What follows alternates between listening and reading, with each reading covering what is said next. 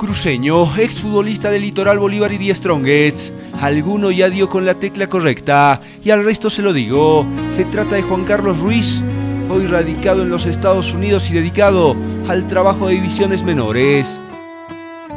Litoral jugaba Néstor Orellana, este, Sergio Luna, ¿qué te puedo decir? Este, este jugadores, Juan Carlos Sánchez, cuando llegué yo, Martín Cruz Díaz, Marcelo Solí, un equipo bárbaro, ¿no? Y yo llegué jovencito eh, a debutar en ese equipo. Eh, Perro Vargas, jugaban jugadores de muchos pilates, pues, ¿no? Entonces este, aprendí bastante, esa gente fueron compañeros excelentes. En Bolívar eh, teníamos 18 jugadores, de los cuales 17 estábamos en la selección boliviana. Yo no tuve la suerte de repente de, poder ir a un mundial porque tenía a Carlos Borja como capitán de la selección boliviana. Yo era figura en Bolívar todos los partidos, pero no, yo sabía, era consciente de que era muy difícil porque la posición estaba copada. Strong llegué con ya una edad de 27 para adelante, en mis últimos cartuchos los quemé ahí en realidad, donde también este, jugué con Oscar Sánchez, con jugadores de, talla mundial. La cantidad de expulsiones en el inicio de su carrera era llamativa.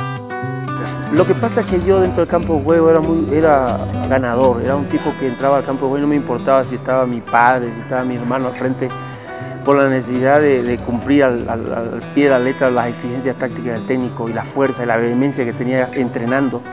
Porque si tú te acuerdas y ves algún video cuando yo jugaba era un jugador muy rápido. Creo que capaz, me atrevo a decir que fue uno de los jugadores más rápidos del fútbol boliviano. Y, en el piso me deslizaba bastante bien en el aire. Era un atleta completo, gracias a Dios. Este, mm, sabía lo que tenía físicamente y imponía dentro del campo de juego. Entonces a veces se me pasaba un poquito la mano, lógico, porque me daba cuenta de que las ganas de querer hacer las cosas bien y el trabajo que tenía, el sacrificio durante la semana, me hacían pasar un poquito fuera de, contexto. Su recuerdo más lindo, vestido de verde y jugando para la selección. Entrar a un estadio con 80.000 personas en España, jugando contra la selección española de ese momento, cantar un himno nacional, agarrado de la mano 11 bolivianos,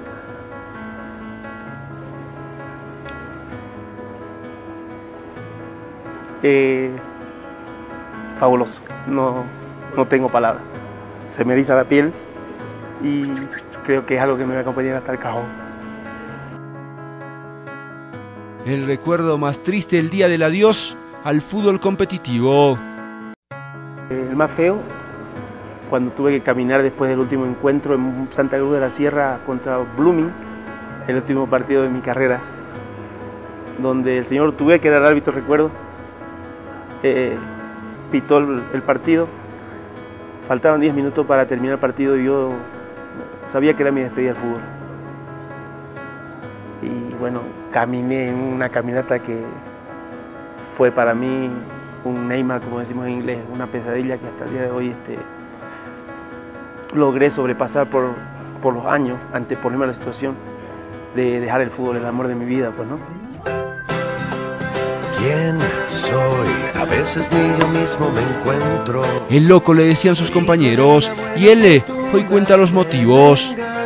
Y de pronto en mi carrera fui un hombre que en vez de jugar carta con mi compañero habitualmente me agarraba un libro y leía o me metía a mi, a mi, habitación y tocaba la guitarra y me distraía yo mismo. Entonces yo era loco para ellos porque de repente no hacía las cosas que comúnmente ellos hacen o hacían. O de repente estaba de suplente en el banco ¿no es cierto? Y como cualquier otro jugador que va a ser suplente se pone enojado, con rabieta, pues yo no. Yo, me, yo estaba riendo, cantando, acompañando a los compañeros, haciéndole broma, porque sabía que cuando me tocaba jugar, así esos cinco minutos, estaba preparado. Sin chance de hacer carrera de entrenador en Bolivia, se fue a los Estados Unidos.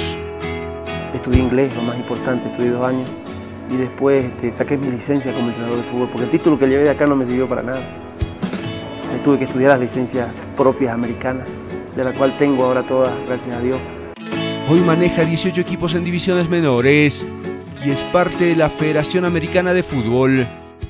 A través de mi trabajo que hice yo, pues la gente fue valorando lo que hacía yo a tal extremo que me brindaron la oportunidad de trabajar dentro de los, parques más grandes que hay en Cristo teniendo un DBI, que es una compañía propia de entrenamiento de niños Empecé con 8 niños, hoy tengo 18 equipos a mi cargo, 4 entrenadores europeos.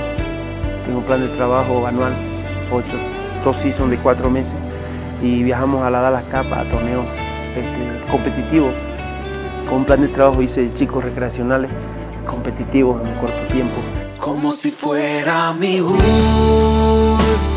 día, voy a luchar